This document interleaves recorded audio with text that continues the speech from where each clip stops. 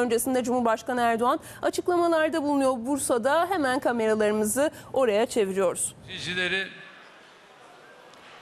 çok değerli kardeşlerim, hanımefendiler, beyefendiler, sizleri en kalbi duygularla, hürmetle, muhabbetle selamlıyorum. Bursa'mızın siz kıymetli kanaat önderleriyle, gönüllü kuruluşlarımızın değerli temsilcileriyle bir araya gelmekten büyük bir memnuniyet duyuyorum. Bizleri bir araya getirerek hasret gidermemize, hasbihal etmemize vesile olan tüm dostlarımıza teşekkür ediyorum. Toplantımızın şehrimiz, ülkemiz ve milletimiz için hayırlara vesile olmasını Rabbimden niyaz ediyorum. Davetimize icabet ederek toplantımızı teşrif ettiğiniz için siz değerli kardeşlerime de şükranlarımı sunuyorum. İz ziyaretimizde halkımızın ve iş dünyamızın nabzını tutmaya büyük önem veriyoruz. Bu vesileyle sadece muhabbetimizi yenilemiyor, aynı zamanda şehrin sorunları, sıkıntıları ve talepleri konusunda ilk elden bilgiler alıyoruz. İstişareyi siyaset tarzının merkezine yerleştirmiş bir kadro olarak bugüne kadar toplumumuzun farklı kesimleriyle yakın diyalog içinde olmaya özen gösterdik.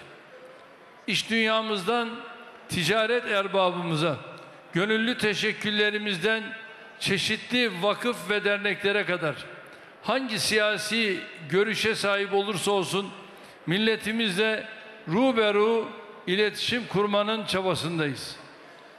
Bilhassa seçim dönemlerini halkımızla gönül köprülerimizi güçlendirme vasıtası haline dönüştürmeyi arzu ediyoruz.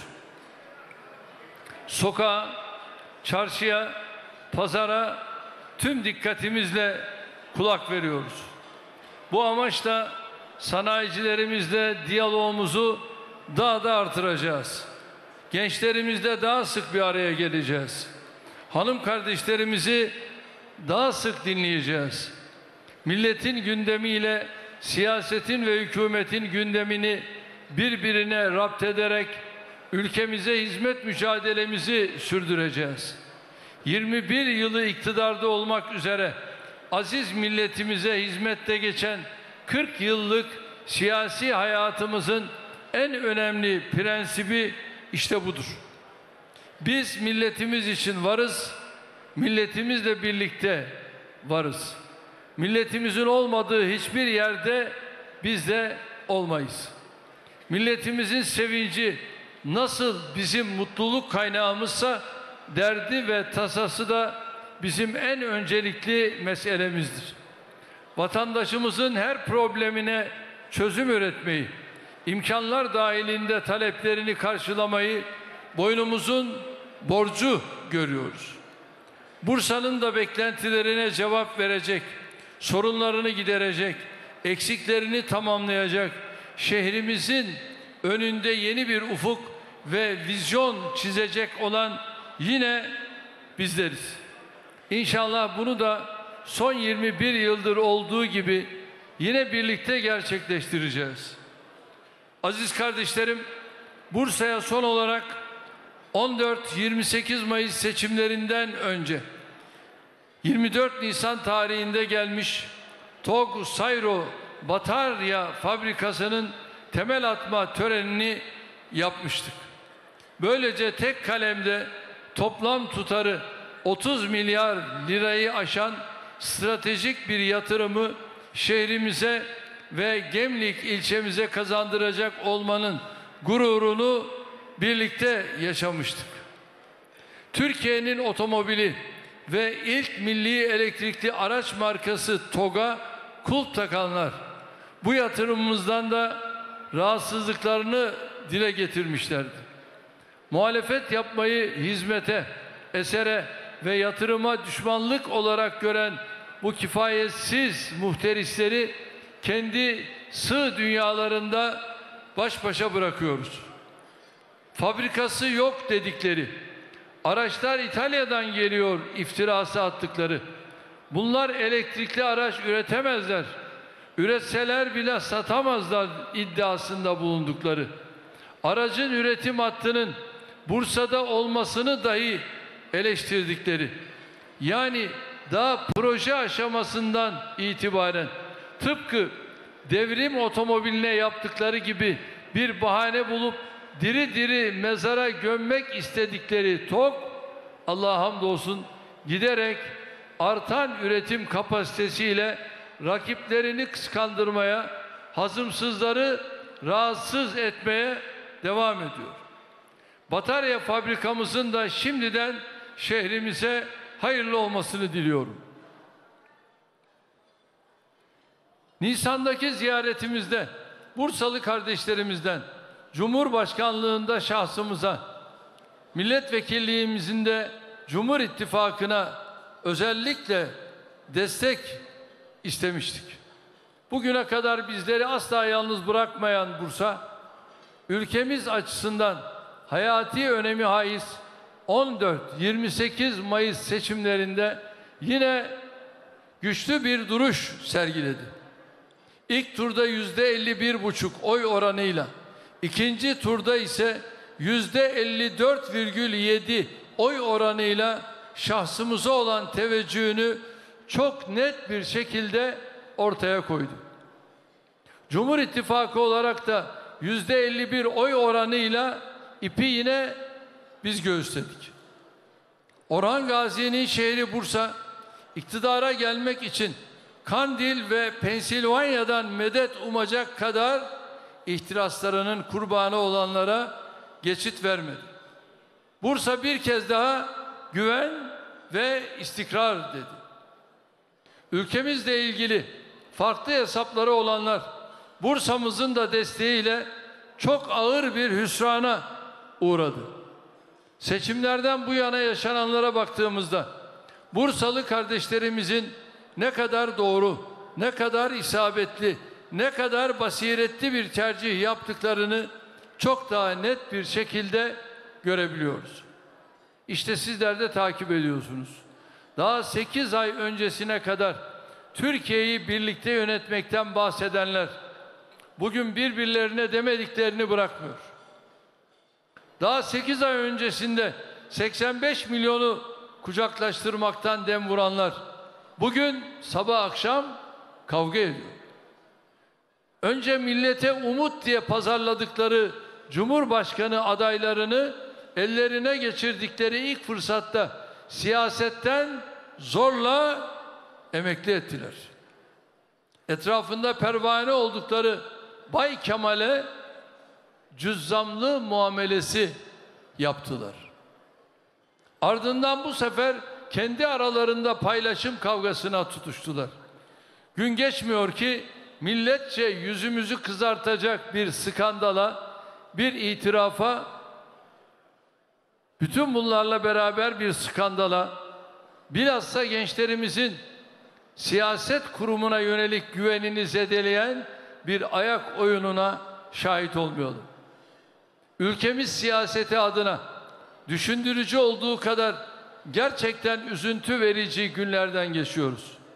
Şunu burada samimiyetle ifade etmek isterim. Bizim kanaatimize göre ortaya saçılanlar buzdağının sadece görünen kısmıdır. Turpun büyüğü aslında hala heybededir.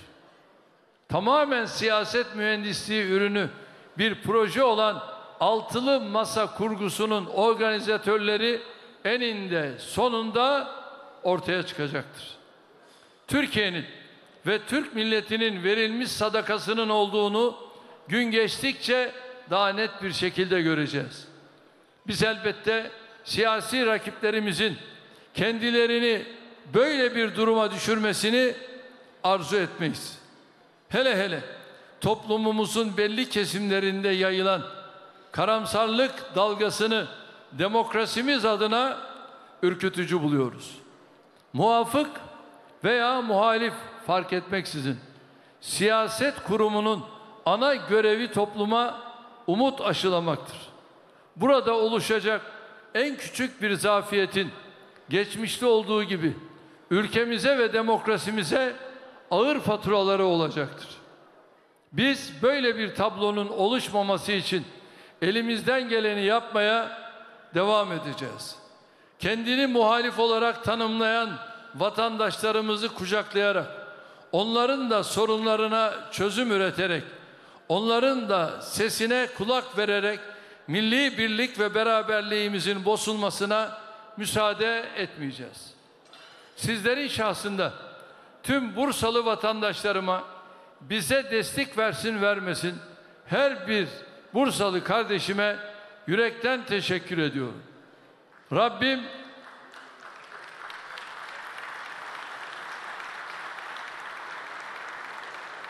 Rabbim dayanışmamızı ve muhabbetimizi daim eylesin diyorum. Kıymetli misafirler, her zaman söylediğim bir hususu bugün burada bir kez daha hatırlatmak istiyorum. Bizde koltuklar, makamlar, payeler, ünvanlar amaç değil. Milletimize en güzel, en başarılı şekilde hizmet etmek için bir araçtır. Biz bu yola birileri gibi siyasi kariyer amacıyla çıkmadık. Büyük Türkiye idealini gerçeğe dönüştürmek gayesiyle çıktık. Meseleye bu zaviyeden bakanlarda kırgınlık olmaz. Küskünlük olmaz. Böyle insanlar yılgınlığa, karamsarlığa, rehavete asla ve asla kapılmaz. Zorluklarla karşılaşılsa da ülkeye ve millete hizmet mücadelesini devam ettirmek ancak bu şekilde mümkündür. Siz bize destek olarak çok kritik bir seçimde doğruya doğru diyerek bize olan güveninizi, inancınızı, itimadınızı gösterdiniz. Mayıs seçimlerinde şahsımıza, AK Parti'ye ve Cumhur İttifakı'na atılan her oya bir emanet nazarıyla yaklaşıyoruz. Sizlerin teveccühüne layık olmak boynumuzun borcudur. Bugüne kadar nasıl sizlerin emanetine sahip çıktıysak inşallah bundan sonra da emanetinizi namusumuz bilip asla yere düşürmeyeceğiz. Bursa'ya son 21 yılda yaptığımız yatırımları en iyi siz biliyorsunuz. Belediyecilik hizmetlerinde Bursa'mız parmakla gösteriliyor. Muhalefetin iradesindeki belediyelerle Cumhur İttifakı'nın yönetimindeki belediyeler arasındaki fark gece ile gündüz arasındaki fark gibidir. Bizde yarı zamanlı belediye başkanlığı olmaz. Bizde şehirlerini ihmal eden, hemşerilerini en çok ihtiyaç duydukları anda yüzüstü bırakan belediye başkanları olmaz. Bizde seçmenini sadece seçimden seçime hatırlayan belediye başkanı olmaz. Şayet es kaza böyle bir belediye başkanı çıkarsa milletten önce hesabını biz sorar, herkesten önce biletini biz keseriz.